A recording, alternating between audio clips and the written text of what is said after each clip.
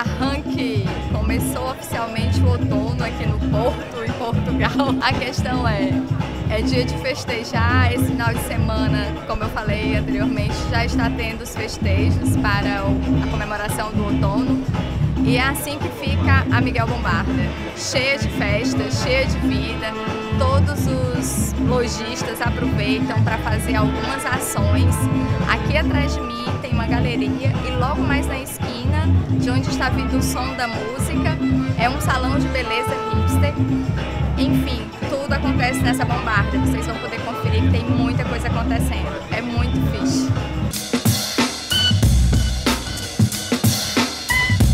Agora nós vamos entrar no centro comercial Miguel Bombarda onde tem muitas lojas. Geralmente aos sábados tem uma feirinha com produtos biológicos. A gente sempre vem aqui para comprar biscoitinhos e outras cositas mais, geleias, pães.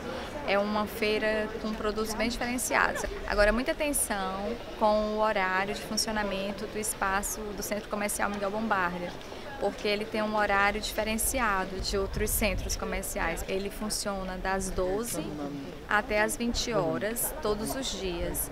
E a feira acontece aos sábados, das 12 às 19 horas. Enfim, é muito legal. Vamos conferir?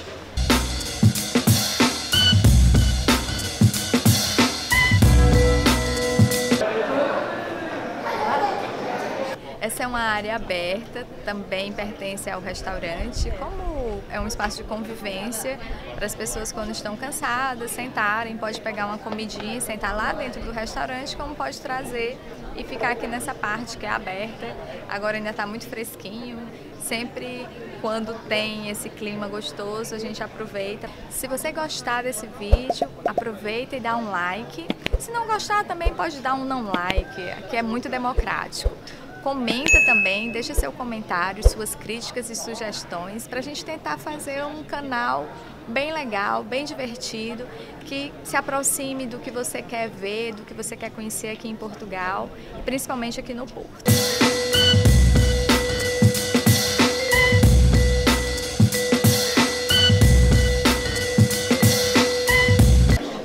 Semana eu recebo na minha casa uma cesta básica de alimentos bio, que no caso são alimentos orgânicos né, no Brasil, e é de um produtor que está aqui na feira.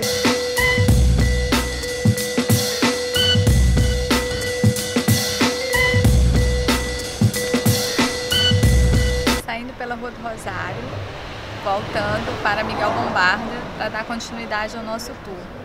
Mas aqui na Rua do Rosário também tem muita coisa interessante para ver. Então, tá com tempo, faz esse quarteirão todo, que é muito incrível. Bem aqui atrás temos um painel autoexplicativo, digamos assim, com os desenhozinhos ilustrando as cidades onde Portugal chegou com suas navegações.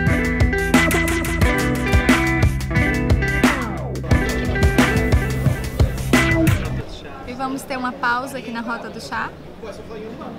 Será? Não, só na volta, agora não.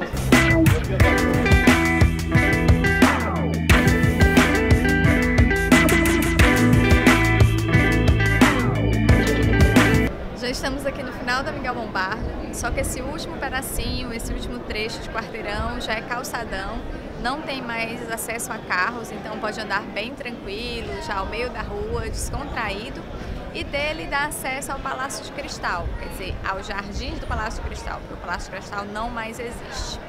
Mas continua tendo galerias, editoras, espaços para café, enfim, continua.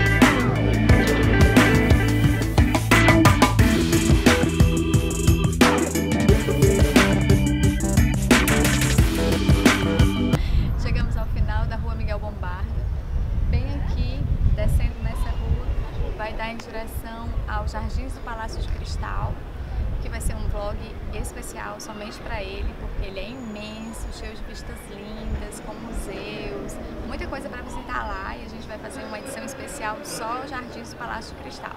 Espero que vocês tenham gostado, se vocês gostaram, deixa aí um like, se não gostaram pode também dar um not like. Comenta, Diz o que vocês estão achando, o que vocês querem saber sobre a cidade de Porto ou sobre alguma outra cidade aqui no norte de Portugal, que a gente vai tentar falar para vocês a respeito. Beijinhos no coração e até a próxima.